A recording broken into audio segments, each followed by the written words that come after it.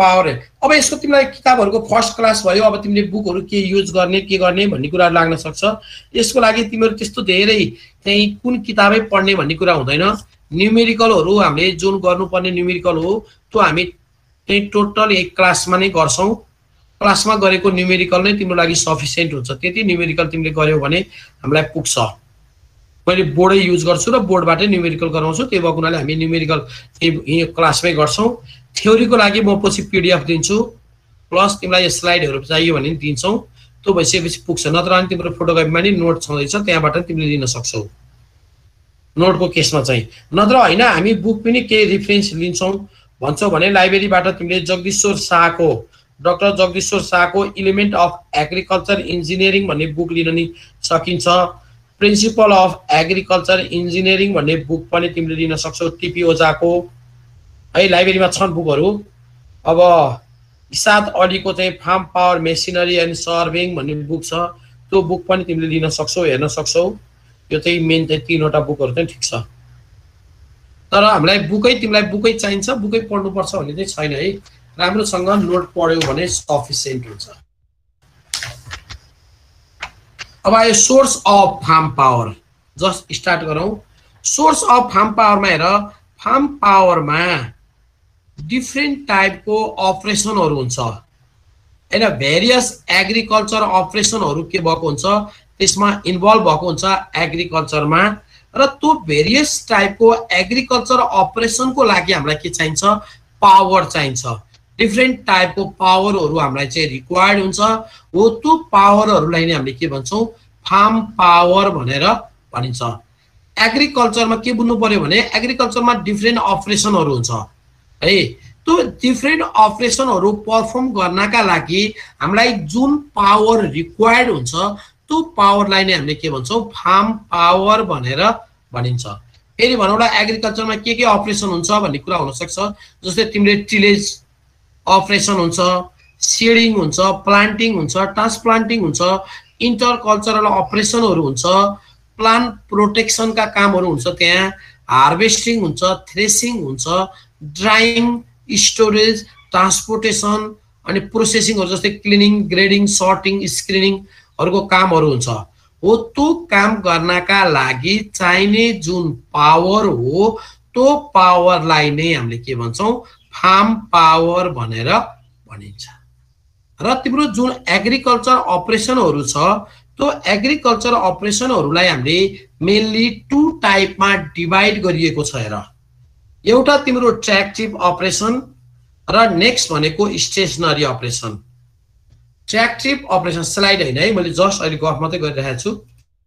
स्लाइडमा छैन फेरि slide change भएन नभन। एउटा ट्र्याक्टिभ अपरेसन हुन्छ त्यसपछिको नेक्स्ट भनेको स्टेसनरी अपरेसन।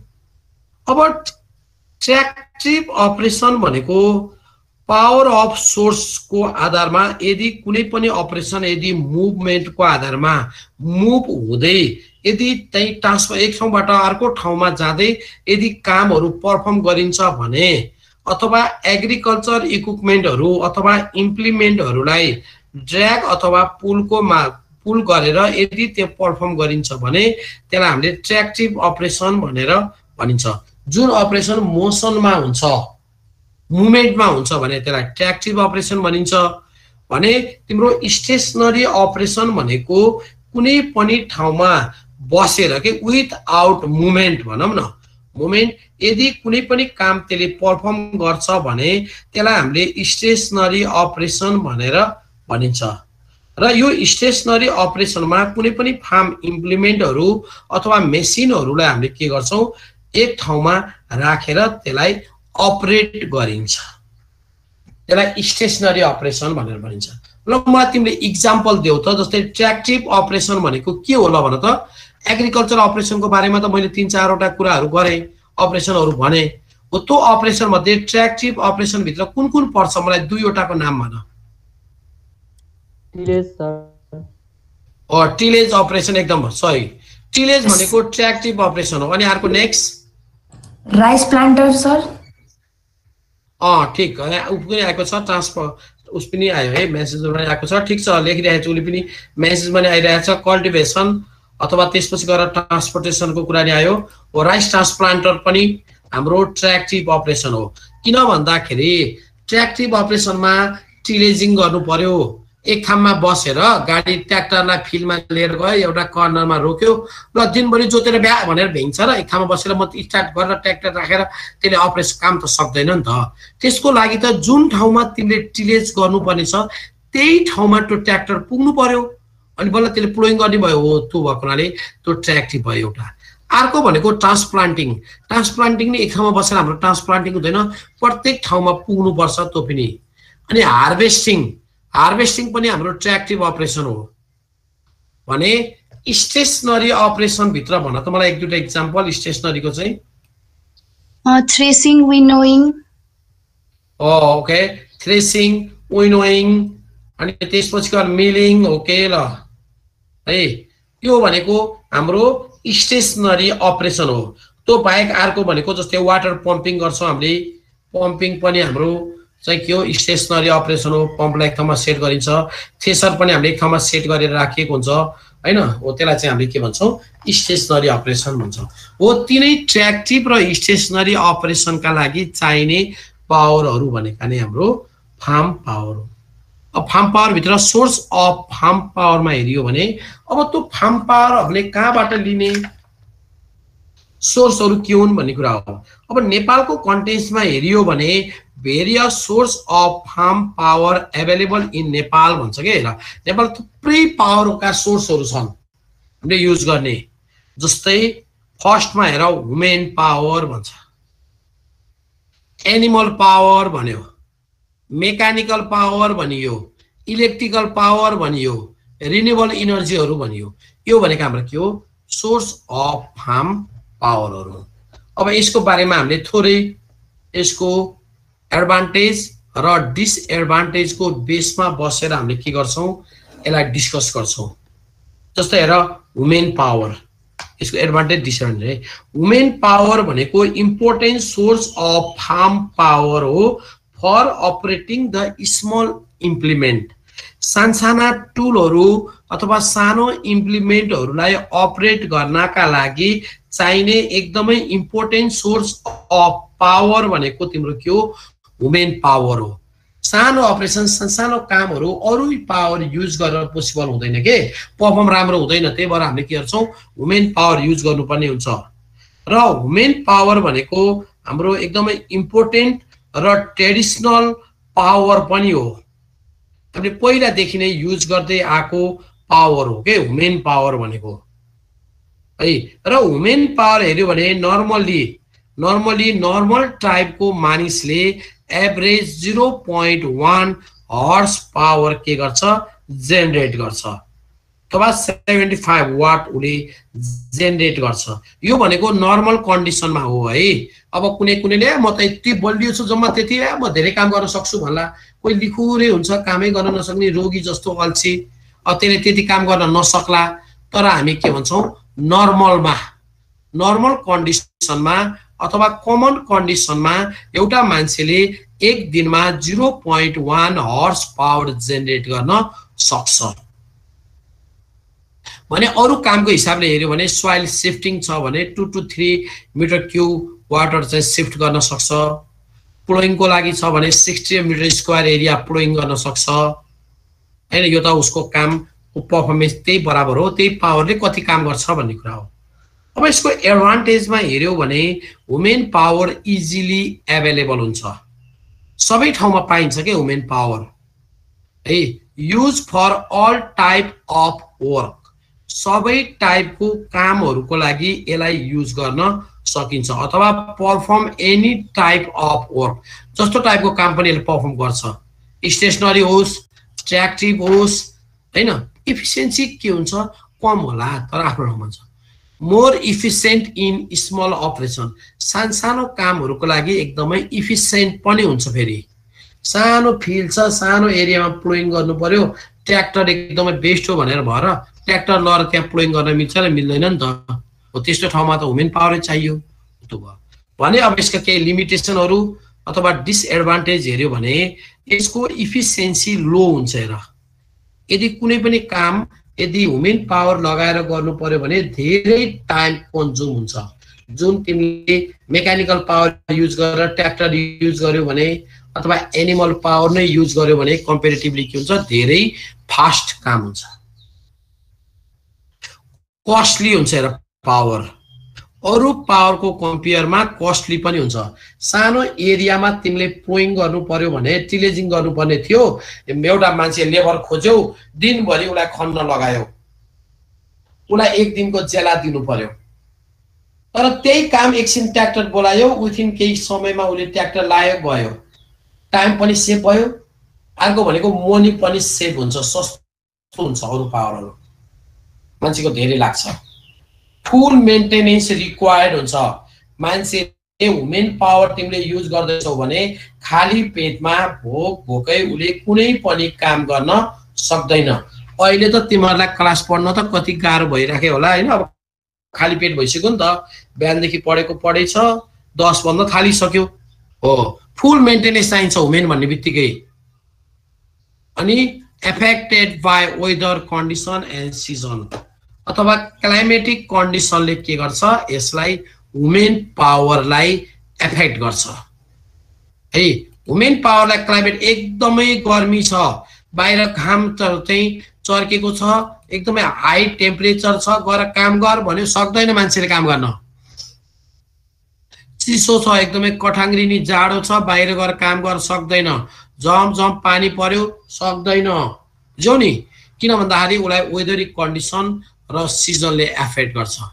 उसलाई आफ्नो फेभरेबल टाइपको क्लाइमेट हुनुपर्छ बल्ल काम गर्न सक्छ। त्यो त्यसको लिमिटेसन हो। त्यस्तै अर्को नेक्स्ट पावर भनेको तिम्रो के हो? एनिमल पावर हो। सोर्स अफ पावरभित्र अब एनिमल पावर भनेको पनि हाम्रो one of the important source of farm power हो। हाम्रो नेपाल र इन्डिया अथवा साउथ एसियन कन्ट्रिजहरू जुन छ यसमा म्याक्सिमम युज हुने अथवा एकदमै वाइडली युज हुने पावर भनेको नै हाम्रो के हो? एनिमल पावर हो। र अझै नेपालको कन्टेन्समा हेर्दाखेरि धेरै जसो हिल्ली एरियाहरूमा स्मल ल्यान्ड होल्ड छ सानो एरियाहरू छ एक ठाउँबाट अर्को ठाउँमा ट्रान्सपोर्ट फेसिलिटी छैन। त्यस्तो ठाउँहरूको लागि animal power is the best power पनि हो फेरि। सोर्स प्रिन्सिपल के अरे मेन पावर हो एनिमल पावर भनेको त्यस्तो ठाउँहरूको लागि। र जेनरली हामीले ब्लक अथवा बफेलोजलाई प्रिन्सिपल सोर्स अफ पावर भनेर भनिन्छ। प्रिन्सिपल सोर्स अफ पावर भनेको बफेलोजहरू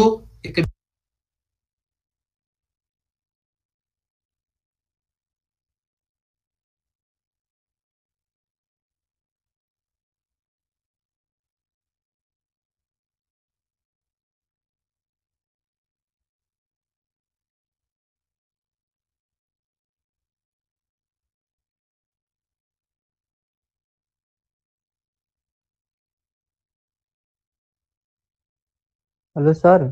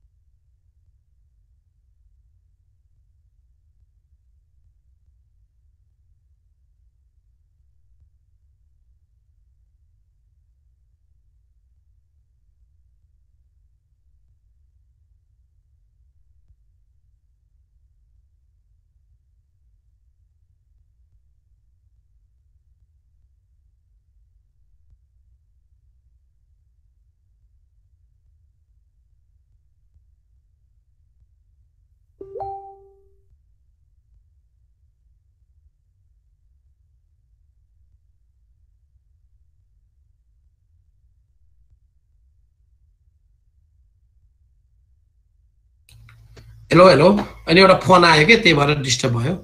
ओके हामी एनिमल पावरकै बारेमा म डिस्कस गर्दै थिएँ है। एनिमल पावरमा हेर्दाखेरि नेपालको कन्टेन्समा हेर्दाखेरि बफाइलेज र बुलकलाई चाहिँ हामीले प्रिन्सिपल सोर्स अफ पावर भन्छौँ। र नर्मल्ली ब्लकले चाहिँ वान पियर अफ ब्लकले चाहिँ वान डेजमा के गर्छ? वान हर्स पावर चाहिँ जेनेरेट गर्छ। प्राय गरेर हामीले बफेलोहरू उयोहरूलाई यसलाई चाहिँ ब्लकहरूलाई हामीले के गर्छौँ? प्योरमा युज गरिन्छ नत्र नर्मली सिङ्गलमा हेऱ्यो भने zero point five two zero point seven five horse power चाहिँ यसले के गर्छ? जेनेरेट गर्छ। र नर्मल्ली हेर एनिमल पावरको केसमा हेऱ्यो भने नर्मल्ली एनिमल पावरहरूले आफ्नो बडी वेटको वान बाई टेन्थ पावर चाहिँ equal to one by tenth of their body weight चाहिँ के गर्छ? बराबरको पावर चाहिँ उसले जेनेरेट गरेको हुन्छ। नर्मल्ली चाहिँ उसको बडी वेट कति छ? बडी वेटको वान बाई टेन्थ चाहिँ उसले के गरेको हुन्छ? जेनेरेट गर्छ भनिन्छ हामीले नर्मल्ली भन्दाखेरि। अब यसको एडभान्टेजमा हेऱ्यौँ भने एनिमल पावर भनेको इजिली एभाइलेबल गाउँघरतिर जता पनि पाइन्छ क्या यो? त्यही भएको हुनाले हामीले यसलाई इजिली एभाइलेबल भनेर भनिन्छ। Mostly use for tractive operation यसलाई म्याक्सिमम चाहिँ ट्र्याक्टिभ अपरेसनहरूको लागि युज गर्न सकिन्छ। वुमेन पावरको कम्पेयरमा सस्तो हुन्छ चिफ हुन्छ। चिपर देन वुमेन पावर अब यसको लो इन्भेस्टिङ क्यापासिटी के अरे इन्भेस्टमेन्ट यसलाई धेरै पैसा लगानी गर्नु पर्दैन इन्भेस्ट गर्नु पर्दैन। Supply the manure to the field and fuel to farmer. त्यसको त्यसको चाहिँ जुन चाहिँ ऊ छ प्रोडक्टहरू छ बाई प्रोडक्ट त्यसलाई युज गरेर हामीले म्यानरको रूपमा पनि युज गर्न सकिन्छ। त्यसबाट कोइला गोइठाहरू बनाएर त्यही फ्युलको रूपमा आगो बाल्न हिटिङको पर्पजको लागि पनि हामीले युज गर्न सकिन्छ। र फार्म प्रोडक्टहरू खाएर नै के गर्छ यो सर्भाइभ हुन्छ। Live on farm product farm product खाएरै बाँच्चालाई छुट्टै कतैबाट पेट्रोल ल्याएर डिजेल ल्याएर हाल्न पर्दैन के? अरूमा डिपेन्ड हुनु पर्ने त्यही एग्रिकल्चरका जुन बाई प्रोडक्टहरू छन् तिनै चिजहरूबाट नै उसले के गर्छ? सर्भाइभ हुन्छ। भने यसको डिसएडभान्टेजहरूमा हेऱ्यो भने इफिसियन्सी लो हुन्छ। किन भन्दाखेरि वुमेन पावरको कम्पेयरमा इफिसियन्सी हाई भए पनि अरू पावरको कम्पेयरमा इफिसियन्सी लो हुन्छ। सिजन र वेदरले यसलाई के गर्छ? एफेक्ट गर्छ। यसको इफिसियन्सीलाई सिजन एन्ड वेदरले एफेक्ट गर्छ। Required full maintenance full maintenance चाहिन्छ यसलाई खुवाउनु पर्ने आज दिनभरि चाहिँ रोपाइ गर्न छ भन्यो भने बिहानभरि खुवाउँछ नि गाई गोरुलाई। हो। फुल मेन्टेनेन्स रिक्वायर्ड हुन्छ। अनि यसको अर्को डिसएडभान्टेज भनेको create unhealthy and dirty atmosphere near the residence. गोरु पालेको ठाउँ गाई भैँसीहरू पालेको ठाउँ यदि रेसिडेन्सियल एरियाबाट नजिक रहेछ भने त्यहाँको क्लाइमेट एकदमै अनहेल्दी टाइपको अथवा डट्टी टाइपको एड चाहिँ हुन्छ। फोहोरो हुन्छ के? र कामको पर्फर्मेन्स स्लो हुन्छ। एनिमल पावरको केसमा है। आज फर्स्ट क्लास हो। मैले त्यो धेरै उ गरिनँ।